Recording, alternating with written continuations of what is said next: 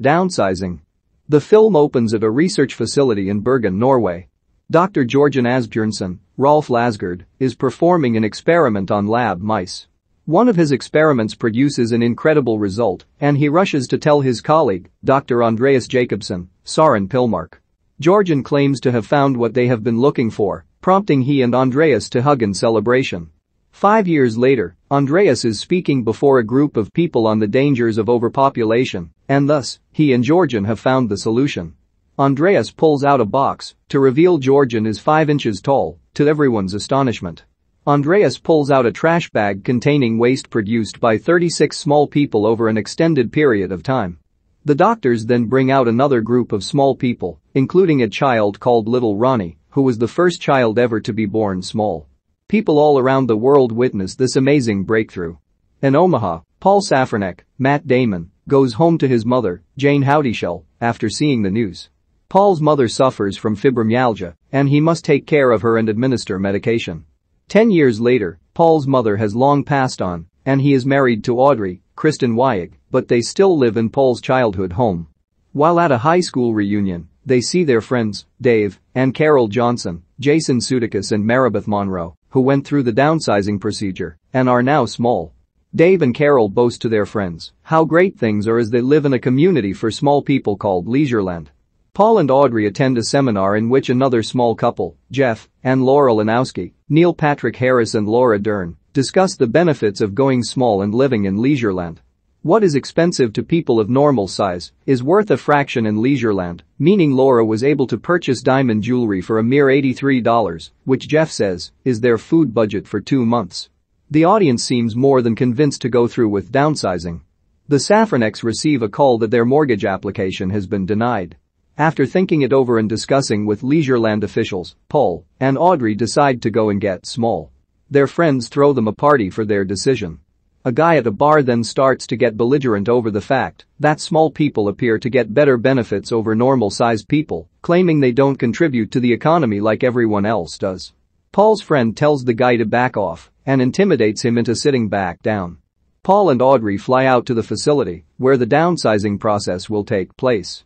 They go through a line of questioning to make sure they understand that downsizing is irreversible and that some side effects may include death. Still, Paul and Audrey appear to be cool with it. Paul is shaved from head to toe and has some teeth removed before he gets small.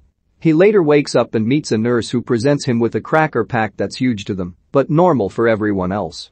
Paul asks for Audrey, and the nurse brings him a phone with Audrey calling him.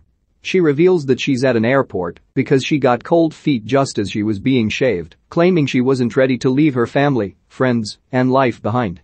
Paul is furious that she left him alone like that Paul is taken to his new home in Leisureland, but he is now depressed over being alone. While watching TV, he sees a news report on how 17 Vietnamese activists that were involuntarily shrunken were smuggled to the United States in a TV box.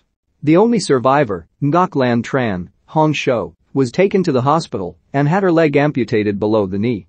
One year later, Paul is finalizing his divorce from Audrey. He now works as a telemarketer for Land's End, Paul attends a birthday party at the Johnsons' place, where Dave tries to console Paul over the divorce, as well as Paul's clear regret to go small. Paul then says he has been seeing someone. Paul is having dinner with Kristen, Carrie Kenny, a single mom. His upstairs neighbor, Dusan Mirkovic, Christoph Waltz, is throwing a loud party, and Paul tells him to turn the noise down. Dusan comes downstairs and tries to invite Paul to join the party, but he declines. After his date, Paul suggests that he and Kristen get together to meet her son. Kristen is hesitant, so Paul just abruptly leaves her and joins the party. Paul finds himself enjoying the party's atmosphere. He meets a young woman who slips him a drug through a kiss. Paul also meets an now grown-up little Ronnie and takes a selfie with him. Paul wakes up on Dusan's floor just as the cleaning crew arrives. He recognizes one of the cleaners as Ngoc Lan. He approaches her and offers to fix her prosthetic leg. After he tells her he worked as an occupational therapist, Ngoc Lan has Paul join her to go back with her to help take care of an ailing woman. Ngoc Lan brings Paul to the slums, where she lives and tends to the needy. She takes Paul to Gladys, Rose Bianco, a woman dying of cancer who apparently lost her husband when he died during the downsizing process. Paul gives Ngoc Lan some Percocet to give to Gladys for the pain and also recommends turning her on her side so she doesn't get bed sores. Paul then tries to fix Ngoc Lan's leg, only to break it. As a result of his screw-up, Paul must help Ngoc Lan in her work, going around the slums to help others, as well as aiding her in her cleaning job, including Dusan's house. Dusan offers Paul a chance to get away by joining him and his friend Joris Konrad, Udo Kier, in going to Norway, where the first small community was created. Ngoc Lan wants to go as well, despite Dusan saying she can't. She then mentions how she and Jorgen wrote letters to each other as he felt terrible for what happened to her this brings her to tears and convinces the three men to let her tag along. The group arrives in Norway and travels on a fjord to meet with Jorgen and his wife. On the journey, Paul and Ngoc Lan give into their mutual attraction and make love. When they meet Jorgen, he reveals to the group that due to the constant production of methane emissions, humanity is on the verge of extinction. Along with a large group of downsized people, Jorgen has helped establish a vault within the first small colony to preserve humanity. Paul is eager to go in the vault, but Ngoc Lan doesn't want to go and thinks he should stay with her in Leisureland. The colony watches the sunset for the last time before heading into the vault. Paul says goodbye to Ngoc Dusan, and Joris.